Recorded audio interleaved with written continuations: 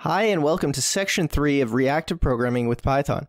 In this section, we're going to look at reactive GUIs and data flows with Qt and RxPy. In this video, we take a look at how to create a Hello World GUI with a simple reactive button. Let's get started. So let's begin by opening up the file, and it's section301.py for video 1 of section 3, and we're going to be creating a new Hello World Q widget.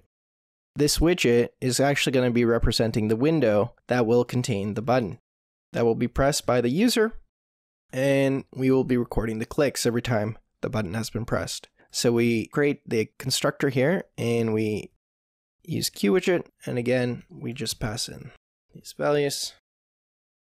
And then we set up the window, we resize it, and we move it to roughly the center of the screen. And then we set the window title to Hello World. We're going to add the button, and it's a Q push button labeled Hello. And we're going to connect the clicked signal to a callback. Called button clicked. And we're going to keep track of the number of times the button has been clicked. And now let's define the callback. Button clicked self. So we do self underscore times clicked plus equals 1. So every time there's a click, we increase the number of clicks.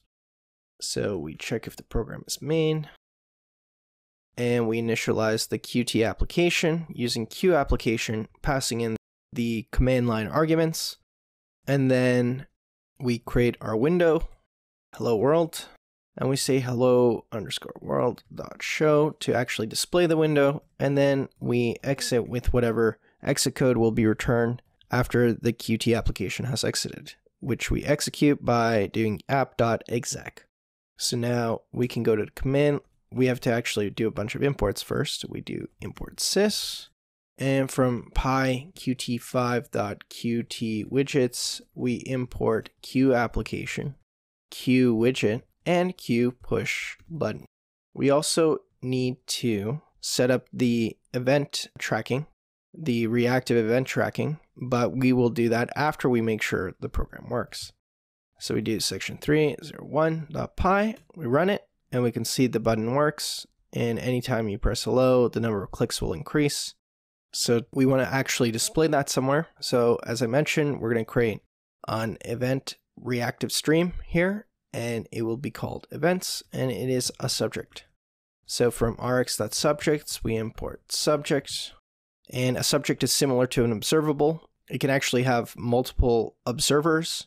And anytime we're clicking, we say self.events.on next. And we're going to pass in quite a bit of data just so you can see what kind of values you can pass into a subject or an observable. And the source will be a source of the click will be hello world. The data will be clicked and the count will be self dot underscore times clicked. So now that we have an event stream, we can actually subscribe to it and display a message.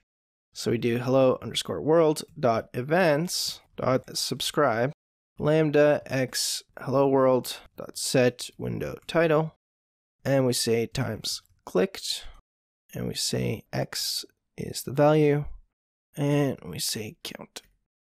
So when we execute this, what we expect to happen is that the value will show up anytime we click. So we do hello, click. You can press spacebar to click as well. So anytime the button is clicked, it'll update. We close it and we're going to do something more interesting based on the filtering and mapping that we have done in the previous section. So we're going to buffer with time. Every 500 milliseconds, we're going to buffer the values. So you will see the source hello world data clicked show up multiple times and we're going to make sure that the buffer is not empty. And then we're going to map the value to get the latest, the last item, which is the latest item. And then we're going to leave the subscribe as is. Just fix the indentation. So every 500 milliseconds, we'll get some events anytime the user has clicked multiple times. Instead of trying to actually set the window title every single time they click, we wait for a few clicks and then we set the window title. So if you click five times within 500 milliseconds, we only call set window title once. So it's a way of throttling and it's a way of debouncing. So let's try that again. And we can see we click and then if we click multiple times, there's a bit of a delay, a very slight delay. If you click multiple times like this, the callback is called, but the actual action is not executed until the event buffer time passes, right? So every 500 milliseconds, it'll actually update. So you can see there's a little bit of a delay, but it prevents us from calling set window title multiple times.